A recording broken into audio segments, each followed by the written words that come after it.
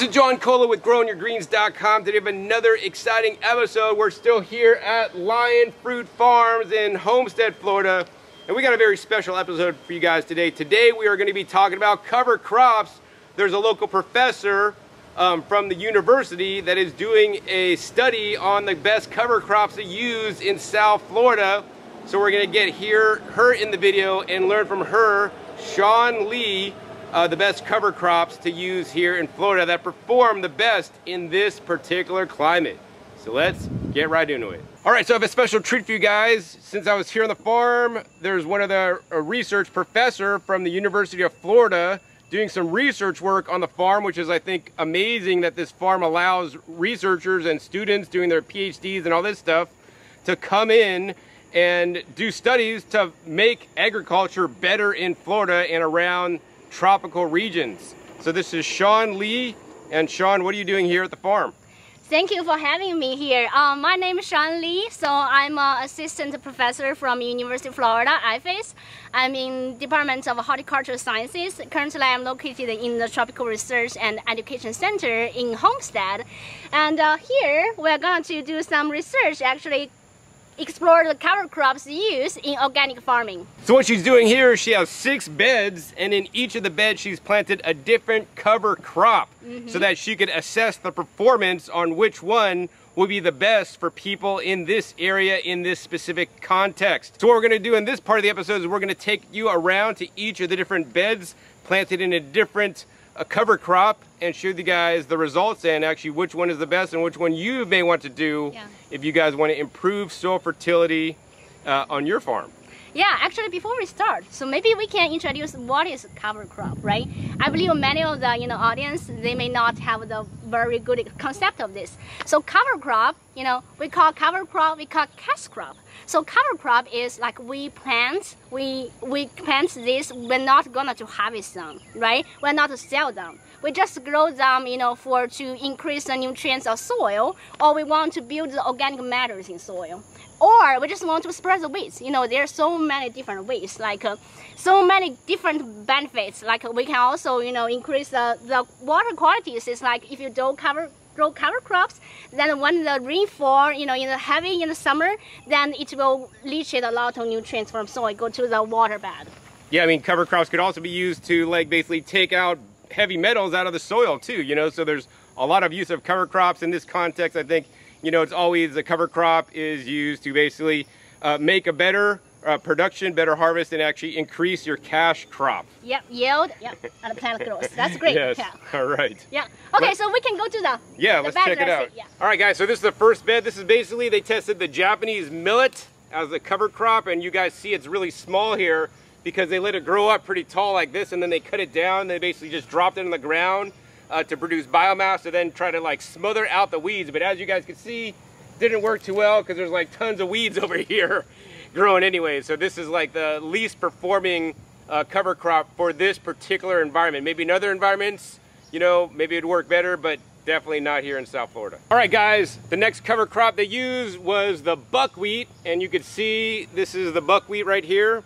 And once again, on this bed, it was also growing pretty tall and they basically just chopped it and dropped it to see if they create a lot of biomass to once again drop on the ground and suppress the weeds. And guess what? I mean, there's still a lot of weeds and it didn't produce a lot of biomass in this particular, uh, you know, climate. That being said, you know, you have to think about when you make a cover crop, why are you cover cropping? Is your sole goal just to prevent weeds? Well, then you don't want to use the buckwheat but maybe you have different goals for your cover crop. So like if your goal was to produce flowers, right, to feed wildlife, to get pollinators, to get beneficial insects here, then you'd be doing pretty good because the buckwheat, after it's been cut, it literally reflowered in like, I think maybe 45 days, uh, you know, something like that. So it flowers very quickly, so it produces lots of flowers, so you can create lots of pollinators. Uh, that being said, this one did not suppress the weeds. Maybe you could maybe in the maybe you could do like mixtures of like one to like attract you know beneficial insects and then do another one like you know mixed in the same bed to like you know uh, that'll actually create more biomass to prevent the weeds. So yeah, this is what we're this is what I'm learning today and you guys are learning as well. All right guys, the next cover crop they use is called the cowpeas and actually this is a cultivar called iron clay. And this is actually a bush type. Uh, this is very important. You don't want to get the one that's vining type because that'll like get stuck in all the machinery. And the other thing that's very important, as you can see, this is literally like has suppressed the weeds, creates lots of biomass. This has already been cut down once. And the thing is, if you want it, if you want the best nutrients to add to your soil, you want to cut it before it starts to flower. I don't see it starting to flower here, but you want to get it right before it's starting to flower because before it flowers, right, all the all the roots are storing all the energy and the energy is going to be sent up to the flowers so the plant can reproduce, but we want to terminate it and chop it and drop it in and incorporate that before all the nutrients are sent back up so the nutrients can be released in the soil and of course all the greenery can then also feed the soil as well. All right guys, so I just wanted to show you guys this. This is the row basically or the bed with all the cowpeas. You can see it's just really dominating and it's doing excellent. You can see they used to have some old school avocados that they basically just chopped down and they're basically um, grafting it on the best varieties of avocados that can produce year round here in South Florida. All right, guys, the next cover crop they used was uh, is called sorghum Sudan grass. Very important to get the right kind. This is a type of grass. It does not nitrogen fix like legume plants, but what it does do is that it does create a lot of organic matters. You guys can see, this has already been cut down. You guys can see behind me, this is all the stuff that was just cut down and chopped and dropped. And you guys can see it actually is suppressing the weeds, which is really good. That being said, they found that some of this, this sorghum Sudan grass has been seeding, which is not good because if this stuff seeds, I mean, this is a grass. I mean, grasses are common weeds on many farms. And if you don't get the one that's sterile, so if you guys want to use this crop, make sure you get the one that's sterile to ensure that it will no, not go to seed and then spread all over your farm, then you're gonna have this as another weed that you're trying to control.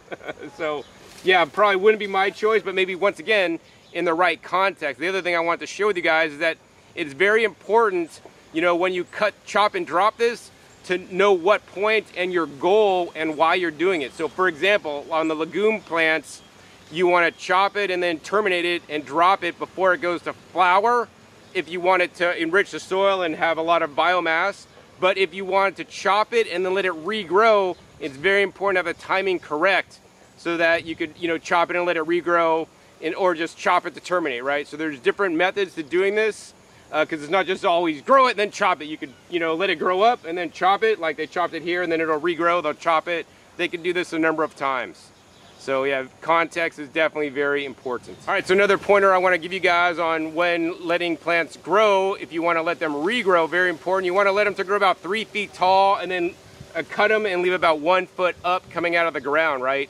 You wanna cut them when they're babies. When they're babies, they have a lot of vigor, they have a lot of growth, they wanna grow faster. And if you let them grow and they're too tall and then you cut them, then they're already kind of petering out, right? Then they're already trying to start to reproduce and they're not gonna have the energy to regrow again. All right, so this guys is a sun hemp. This so far has been doing the best. And once again, uh, this is a legume crop, so it actually will fix the nitrogen. Of course, it makes a lot of biomass. It's doing a pretty good job at suppressing the weeds for the most part, in my opinion. And once again, they let it grow up about three feet tall. Then they basically left a foot uh, growing out, and then you can see it's actually reshooting. Also, the sun hemp can help with root nematode problems. So grow the sun, hemp that'll help address uh, the root nematode problems. So yeah, so far I think the sun hemp definitely one of the best and this is commonly used actually in permaculture. All right guys, so on this bed here they let the Sudan sorghum grass uh, grow pretty tall. Some of it's like six feet or taller, you guys can see. Um, and it's actually supposed to be sterile. Uh, some of these plants are sterile, but some of them are actually producing seeds, so that's definitely not good. So you definitely want to be really careful and ensure that you're going to get sterile if that's what you want. That being said, at this point, it's going to a flower, so they don't want it to regrow. So now they're just gonna basically cut it close to the ground. So I'll show you guys some footage. Basically they use like a, a universal attachment on a string trimmer, but the universal attachment is basically like a hedge trimmer, which is really cool. And then they basically just go to the ground, as you can see right now in the video, and just drop this down. So let's show you guys what it looks like once dropped down. You guys can see now there's lots of biomass here. All this uh, grass chopped down. You guys can see they're really long here, okay? So depending on the microbes in the area, it could take maybe one to two months for this to break down. That being said, if you want this faster, you want to create more bacterial surface area, BSA. That means you want to chop it up into little small pieces. So instead of just chopping at the bottom, maybe chop it at the top, do one cut here, one cut here, one cut here, one cut here. So then there's like, you know, whatever 12 inch or 8 inch pieces and let that break down. That'll break down faster so then you could go ahead and then turn and replant this uh, bed with your new crop sooner. All right, so another distinction I want to make for you guys real quick that Shawn Li just told me about is that it's very important that, once again, this is just being chopped and dropped down on the soil. This is gonna stay like this. They're not gonna clear this off. They're not gonna till it in, right? This is, they're doing no-till agriculture here because that's definitely better for the soil microbes, uh, better for the planet, better for everybody. Um, so, you know, doing it in this way, this will take longer to break down, but in the end, it's gonna be of greater benefit to the farm because also too, I mean, we got avocado or actually this is a May tree that they don't want to like till into this because some of the roots of the tree are right here and if they till this in they're going to damage the tree roots not to mention damaging the fungal hyphae webs and the back and disturbing the bacteria and the earthworms and everything else living in the soil. So now I want to show you guys the sun hemp that is about to be terminated. um, basically what's happening is this was planted in April so it's about three months along and now this is the time when they're basically just going to chop it and just drop it on the ground uh, to let it uh, suppress the weeds. They haven't chopped it yet. Uh, I mean, because they haven't chopped it, there's still a little bit of weeds here. Um, but now they're going to chop it right now. Now the other thing is that if they grow too long, then the fibers get kind of woody and it gets harder to cut down. So you don't want to let it get too tall um, and then get too woody, then it's harder to cut down. Also, of course, more woody material is going to take longer to break down at the same time. So I think they're just about to take out this whole area of sun hemp and drop it to the ground. So let's show you guys actually what it would look like uh, afterwards.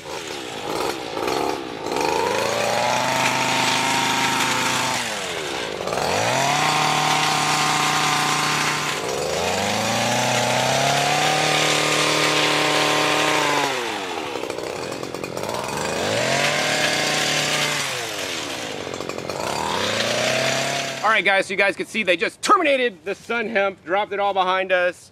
And you know, you may think, man, that guy John is so smart. He knows all this stuff about cover crops. Well, you know what? I just learned all this stuff myself right now from Shawn Li, the professor, the researcher. This is how I learn things, guys. I come to farms, visit, learn about, and visit with amazing people like Shawn Li, who teaches me things, and then I can teach you guys things.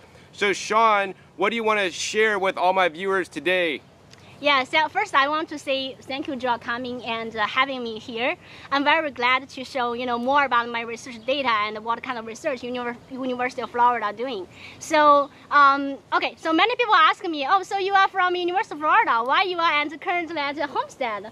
Uh, because like University of Florida is a land-granted university, and we have total about 12 research and education centers across all the Florida. And the job, you know, for us is to provide some uh, specific solutions to the, you know, problems tailored to the this climate, you know, local climate. That's why we want to, you know, really collaborate with more growers like Peter and Ricky here, and we want to solve more, you know, what the the real um, problems, uh, give some solutions for local climate. Wow, so if somebody has a farm and they're here in South Florida, can they reach out to you guys to like, hey, I want you to do a study on my property and you could come in and plant all the sun hemp and find out what's best for me? Absolutely. Yeah, you know what? Our research education center, we, we call TREC. So TREC has mm, 16 faculties and we have about 100 you know, staffs, uh, graduate students and postdocs. So we have plant pathologists, we have entomologists, we have soil scientists, we also have vegetable specialists, which is me, uh, and many other economists as well. So if you have any questions you know, regarding about fruit trees or vegetables or even soil problem, feel free to contact us. Wow, so this is literally free help for farmers and gardeners right. out there in Florida? That's right. Yeah, totally free. Yeah, because we are from University of Florida. We come here just want to support our growers. Wow, amazing. So yeah, you guys could help more people get growing. So how do they contact you at TREC? Yeah, so feel free to search online, which is Tropical Research and Education Center, University of Florida, and you find you will find our all our faculty's website, you know, faculty's contacts. Just right. select whatever you want. All right, I will put a link down below so you guys can get a hold of TREC and get all your questions answered so you guys can be more successful growers thanks to TREC. Thank you. Hi everyone, I want to introduce uh, Wilbert. Um, what is our whole name again? Wilbert. Wilbert Matos.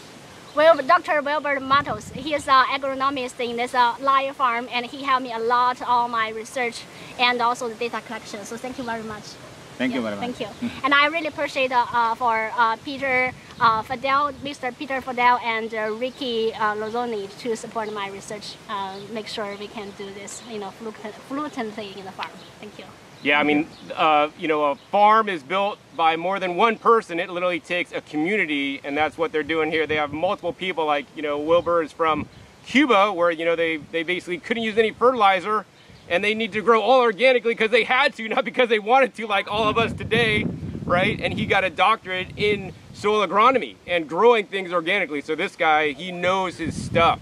So it's so amazing that they have Wilbur on the team here today, uh, you know, to help uh, Shawn Li to do the projects as well as manage the whole farm. This is just one amazing farm, and I really hope you guys enjoyed this episode today, learning about the best cover crops to use in South Florida. And if you did, hey, please be sure to give this video a big thumbs up, and more importantly, share this with other farmers and gardeners in South Florida so that they can learn about cover cropping and how we can preserve the soil, preserve the food soil web, you can get higher yields and suppress your weeds without having to pull them up by hand or even worse, using nasty chemicals that pollute the soil and pollute the earth. So if you guys enjoyed this episode want more videos like this, be sure to click that subscribe button right down below so you don't miss out on my new and upcoming episodes are coming every five to seven days. You know, know show up what you'll be learning on my YouTube channel.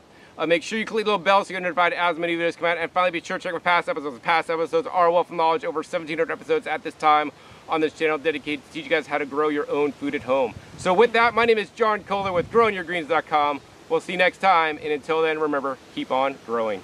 See you next time. Bye bye. Bye.